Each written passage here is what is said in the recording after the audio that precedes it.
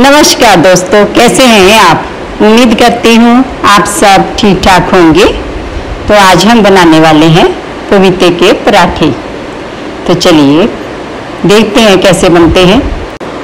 तो चलिए, पराठे बनाने के लिए हम कच्चा पपीता लेंगे और इसके हम सब्ज़ी भी बना सकते हैं और अचार भी डाल सकते हैं।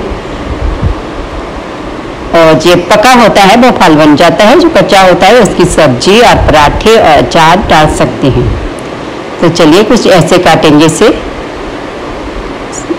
जो इसका छिलका है, वो हम उतार देंगे।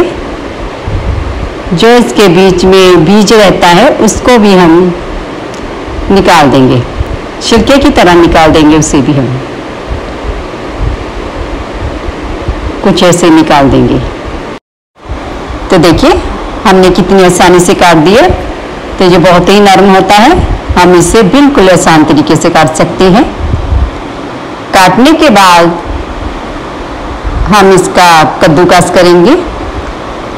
तो आपको पता है, इसके फ़ायदे बहुत होते हैं। अगर हम इसका फल खाते हैं तो इसका बहुत फ़ायदा होता है। अगर कच्चा खाया जाए तो उसी का भी फ़ायदा होता है। अगर कच्चा पक्का हो, वो भी खा सकते हैं। सलाद वगैरह में। तो इससे हमें बहुत पपीता लीवर की बीमारियों को दूर रखता है। ये अब हम इसका कद्दूकस करेंगे। कद्दूकस कर लिया है। अब दोनों हाथों से इसे हम निचोड़ देंगे। इसका जो पानी रहता है इसे निचोड़ देंगे। तो थोड़ा सा लहसुन लिया है और अदरक लिया है, हरी मिर्ची लिया है। कम से कम तेल डालिएगा, आधा चम्मच, क्योंकि हमें ये खुश्क ही रखना है, बहुत ज़्यादा नहीं रखना है तो ज़्यादा पिघोना नहीं है। तो चलिए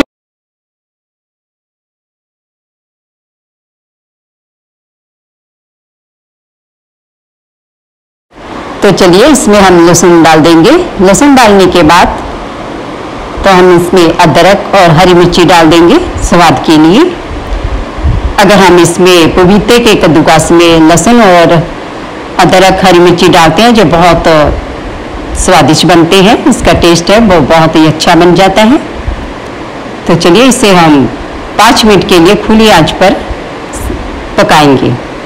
चलो, इसे हम ज़्यादा आँच पर बनाएँगे। बस दो दो दो तीन मिनट के लिए, ज़्यादा नहीं। चलिए, अब ये पक चुका है। हम इसे ठंडा करने के लिए रख देंगे। जब तक ये ठंडा होता है, इतने को हम आटा गूंद लेंगे। तो चलिए, ठंडा होने के बाद हम इसमें मसाले डालेंगे। देखिए, बिल्कुल ठंडा हो चुका है। मसाले बिल्कुल ठंडे होने पर ही डालने हैं। तो चलिए ठंडा हो चुका है, अब हम इसमें मिर्ची और नमक, थोड़ा सा मसाला डालेंगे।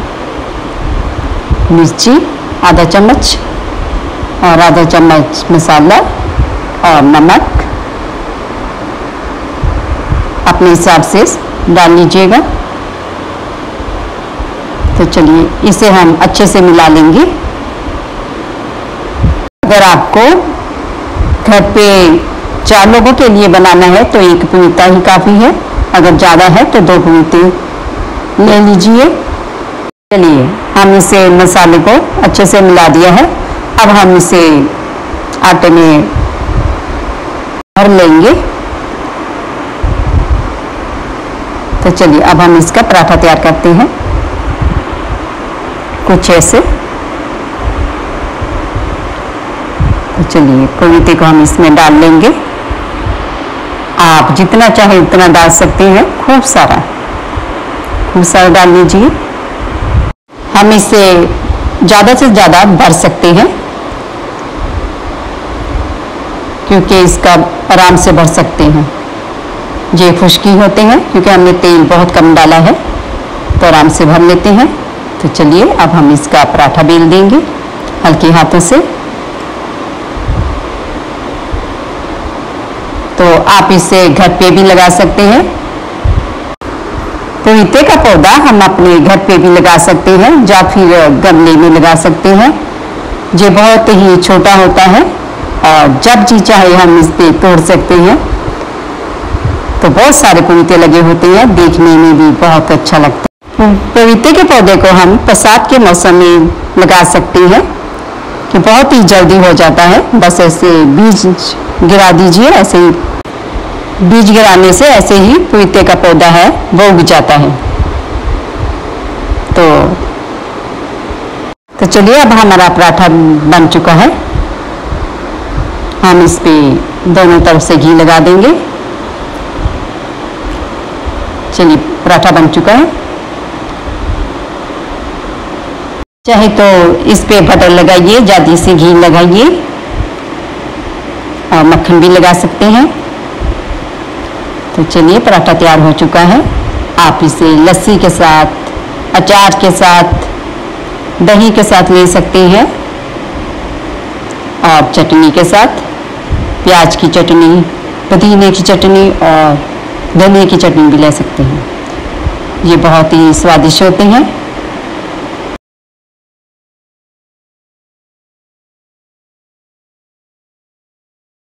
इस इसी तरीके से हमने दूसरा पराठा भी बना लिया है।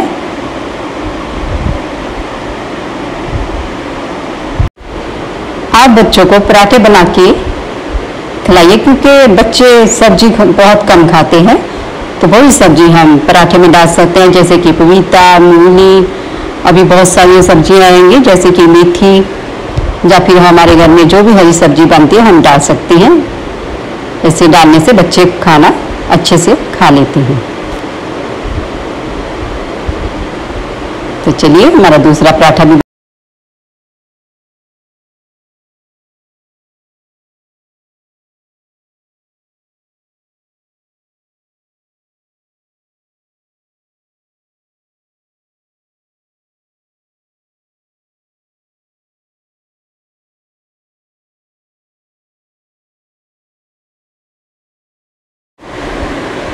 तो पराठे को आप इस बच्चों के टिफ़िन में भी डाल सकती हैं।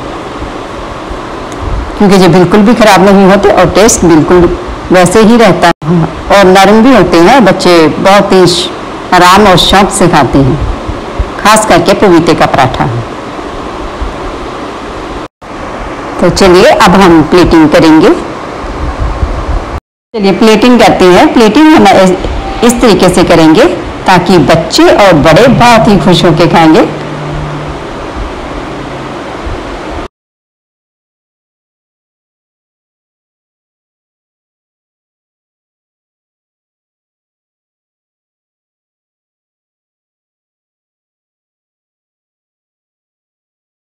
तो चलिए, हमने पराठे ले लिए हैं। पराठे के साथ हमने ली है प्याज की चटनी। तो जैसे हमने बोला है, आप धनिया पुदीने की चटनी भी ले सकते हैं। साथ में लस्सी वगैरह, मक्खन ले सकते हैं। तो चलिए, हम चटनी रखेंगे और इस पर एक चम्मच घी लेंगे ताकि और भी ये नरम हो जाते हैं। देखने में और खाने में बहुत ही अच्छा स्वादिष्ट आता है। स्वाद होता है। ये हमने बिल्कुल राजस्थान के स्टाइल में बनाए हैं।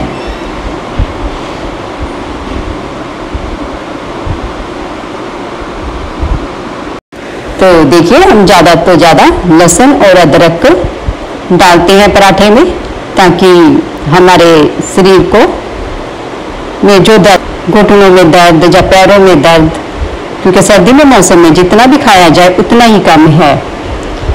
क्योंकि इससे हमें, हमारे शरीर में बिल्कुल भी दर्द नहीं रहता और हम बिल्कुल तंदुरुस्त रहते हैं। आप भी अपने घर में देसी घी और लहसुन, अदरक इस्तेमाल कीजिए। ये बहुत ही फ़ायदेमंद है। और सबसे बड़ी बात है कि इसमें, इसका हमें बहुत फ़ायदा होता है और हम मोटे भी नहीं होते। चलिए, अब हम आपको मिलेंगे अगली वीडियो में। तब के लिए आप तंदुरुस्त रहिए और खुश रहिए। चलिए अब हम आपको मिलते हैं अगली वीडियो में, तब के लिए हमारा जो चैनल है, फॉलो कीजिए। हमारी जो वीडियो है, ऐसे ही देखिए। चलिए, अब मिलते हैं आपको अगली वीडियो में नई रेसिपी के साथ। Thank you